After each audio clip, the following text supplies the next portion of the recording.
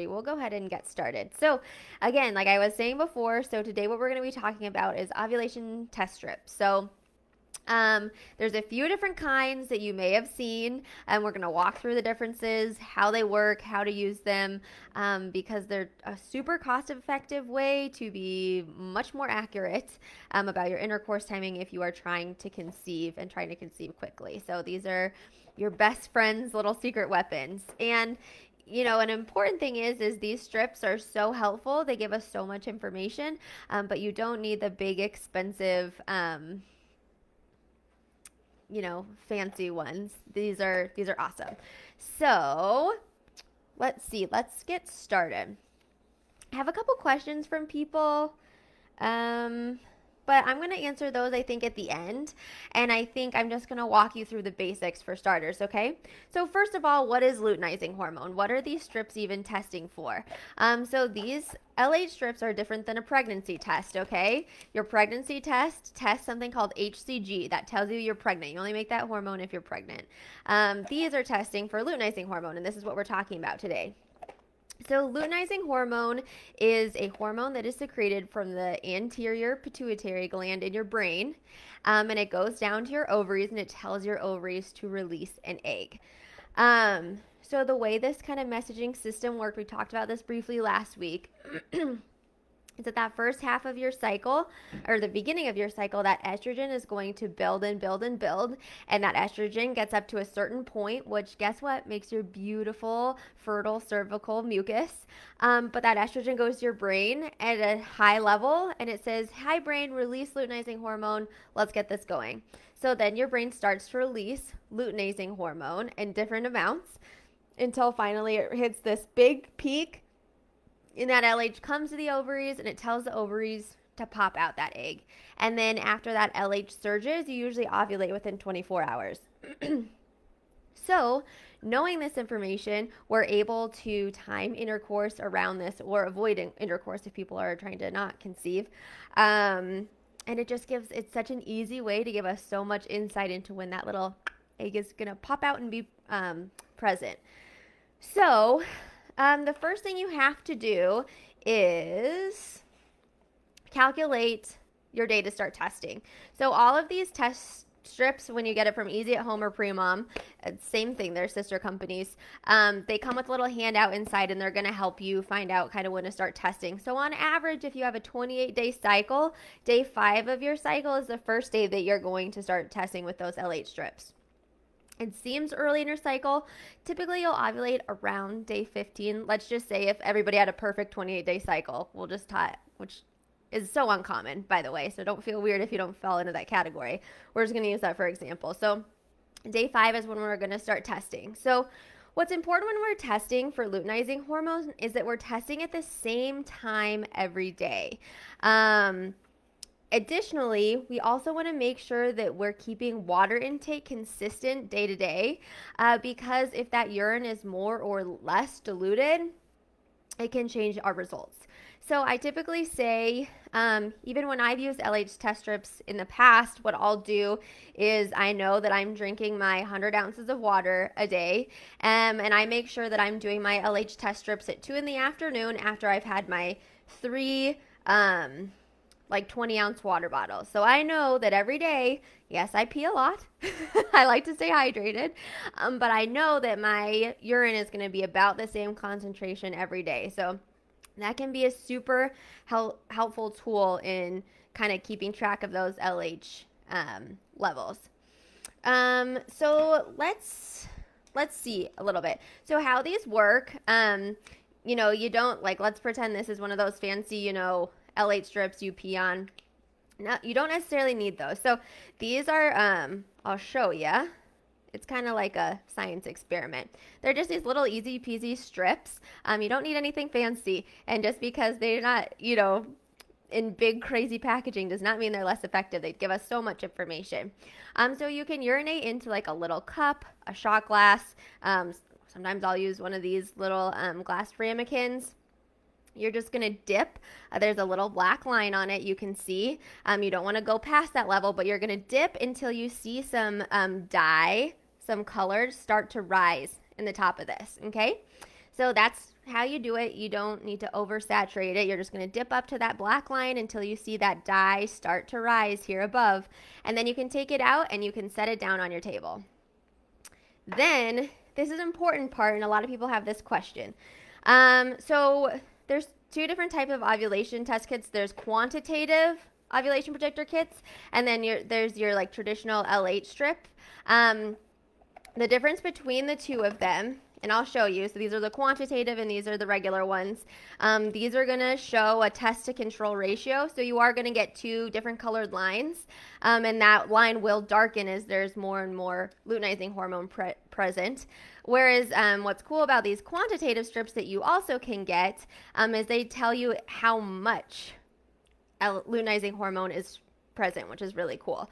So either way, using the Premom phone app, you can scan both of these in um, so I'm just going to give you a quick tutorial. So you can open your app and you can click on your um, test tab. Then you can um, just, there's a timer at the very bottom. I did, a lot of people don't know this. Timer, and you can set that for five minutes. Um, so these ones are three to five minutes. These are at least five minutes. So I just say good rule of thumb, set your timer for five minutes and you're good to go. Um, set your timer. You can hit start when it's done, that means it's time to take your picture. Um, if you miss it by a couple minutes, not a huge deal, but after 10 minutes, you are going to want to redo your um, results. You're not going to want to read them then. So 10 minutes is your max, but five minutes is what you want to set your timer for. Then, really easy, you just hit the button that says add test result, and you can upload a photo, but you can also take one automatically. And what's great is it zeroes in right on those two lines. And um, depending on whether you're using the Easy at Home traditional luteinizing hormone test or the Premom um, quantitative luteinizing hormone test, they're going to give you um, the Easy at Home is going to give you a test to control ratio number, so you actually get a numerical value, which is super helpful. Because um, sometimes, you know, you guys, you know, we talk about line eyes with HCG test, but we also get line eyes with LH. Like, is this darker than yesterday or not? So it kind of takes the guesswork out of it and just really helps you to control um, and compare all those days. And then the Premom is cool because it actually quantifies that luteinizing hormone level um, and it tells you exactly how much luteinizing hormone is present. Again, it also is darkening in the same manner. Um, so that's what's really cool about that. And I do recommend using the timer feature so you don't forget about your strips um, and you're making sure you're reading them at the right time. What else? Um, yeah. So that's what I. So these. So these easy at home luteinizing hormone tests.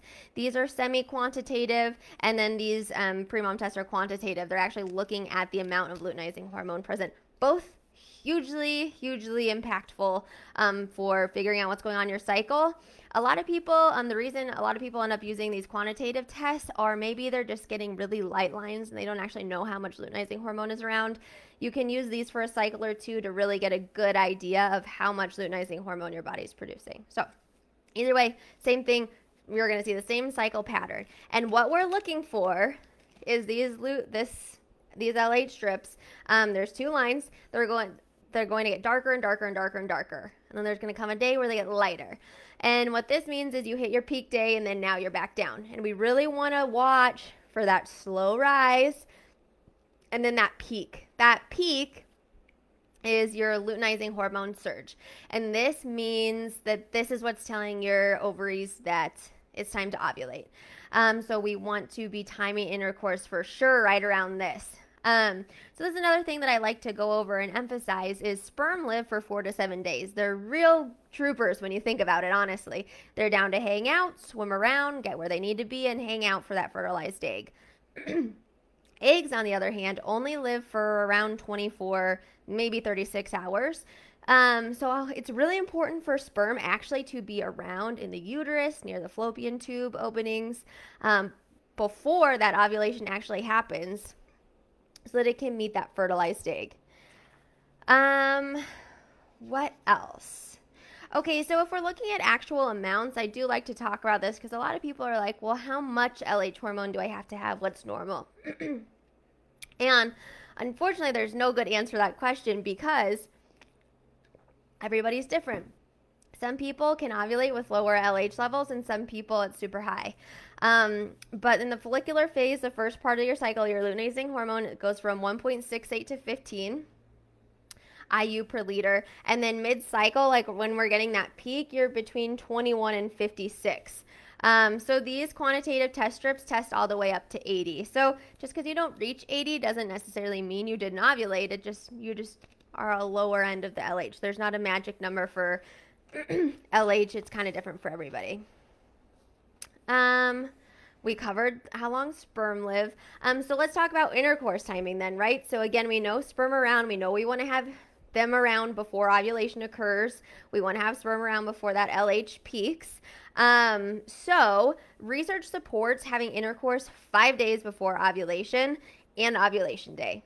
Those are statistically the best days that you can have intercourse um, in order to conceive. So, again, we're trying to get, um, once we start to see that LH start to rise, it's a really good time to start um, having intercourse. And for sure, when we see that surge, let's, you know, definitely stack the deck in our favor and make sure we're having intercourse on the day of that peak day. Um, also, I do recommend two days after as well, uh, just in case maybe you missed the LH peak and it did come a day later than you thought. Um, continue it out for another like two days after. As far as every day, every other day, every doctor seems to have a different opinion on it. Um, if quantity of sperm is an issue, um, then yes, every other day does make sense. But in a really good semen analysis panel, um, there's good count, good volume. Um, it's perfectly fine to have intercourse every day. So um, that's up to you. And of course, totally respect your doctor's opinion and what they think as well for you. You can never be wrong when it's your body. You know best. um, the one last thing I wanted to talk about is a rapid surge versus a gradual surge. So, some people, um, I would say the majority fit into the gradual surge pattern. So, the luteinizing hormone is slowly rising for one to six days, and the peak happens somewhere in between like these one to six days. Other people, can have something called a rapid surge. And this is where luteinizing hormone is only elevated for like a couple hours in a day. So it's really hard for those people to track when their LH spike is. So if you do LH strips for a month, you're not seeing that peak. Um, it never came. Um, it's worthwhile the next cycle to consider testing two times a day to see if within the day you did a did a LH peak without you even noticing. Um, so I would just do try give that a cycle around using LH strips two times a day to help catch that rapid rise. Um, so that's a little tip for you. Okay, so those are the basics of the strips. I hope that's helpful just seeing how something so simple as this strip can give us so much value and so much information. Um, the quantitative ones are less than a dollar a day. These, I mean, gosh, are, are hardly anything. So you don't have to feel guilty about testing. And I always say test, don't guess. You know, use this information. The more data you can collect, the more you can know what's going on in your cycle, um, and the more we can kind of tap in and, and figure out how to conceive. Um, okay, so this is someone's question. After dipping the strip, when do you scan it in the app to avoid a false reading? Perfect. So we talked about this already. So you're going to, after dipping the strip, you're going to wait to scan it three to five minutes for the um, regular ovulation test, and you're going to wait five minutes for the quantitative test. Of course, read the instructions on your strips to make sure that this applies to you. Um, but that's typically what it is, and then don't read those tests after 10 minutes. You're not going to get an accurate um, measurement at that point. Okay, and then the last question Do faint lines denote ovulation at all? So this is a good question, um, and this this would be someone I would say go ahead and give the quantitative LH strips of cycle and see what you see, because um, some people do have faint lines and they still get a spike and a surge and they still ovulate. Um, if you're concerned about how much LH is present, that's when the quantitative can really come in and see what amounts you're actually getting. Uh, in addition to that, though, if you're having those faint lines and you're wondering if you're ovulating, that's when you really have to go and rely on your ovulation confirmation technique. So that's checking your basal body temperature, that's checking your cervical mucus. In addition to that LH peak, to make sure everything's kind of adding up. Are you getting that basal body temperature spike that confirms progesterone is pregnant, present uh, because you ovulated? That corpus luteum is around secreting progesterone, right? So we want to just confirm that. Also, cervical mucus, did it get nice and slippery? Did you get that fertile mucus? Um, so those are other signs your body's telling you uh, you know, the cervical mucus tells you where your estrogen is at, your luteinizing hormone tells you where your ovulation is at, your basal body temperature tells you where your progesterone levels are at. So see, it's really cool. It's it's science. You can read in your body symptoms and it can tell you so much about what's going on. Um, so the one thing I would say is yeah, consider trying the quantitative test if you have faint lines and make sure that you're tracking basal body temperature and cervical mucus. Um, to make sure that you're confirming ovulation. If you're not ovulating, then you got to dig deeper, talk with your doctor, and figure out what's causing you not to ovulate. Also, this is somebody that may have a rapid rise. So, if you're just getting faint lines every day and you're not getting that spike, consider doing a cycle by testing two times a day and see if you're just that person that has one day of that rapid rise of LH peak um, and make sure you're not missing that LH surge. So those are kind of the troubleshooting techniques I would do with that guy. Okay, so yeah, that's pretty much it as far as uh, ovulation tester goes, but they're cost effective and they're so accurate and they can just really help you give so much um, information about your cycle. So I'm a big fan of them. They're an easy tool. I love data. It's so great the way you can upload everything into your app. And then it's also not only do you have pictures of everything and you can go back and look at past cycles, but then it's going to graph everything for you. Uh, which is super nice. So you can see your luteinizing hormones slowly increasing. You can see your basal body temperature spiking. It's just, it's so cool to see all this information next to each other. So that's about everything. Um, I hope you guys have a wonderful weekend. And of course, leave any questions, and we will see you next week. Take care.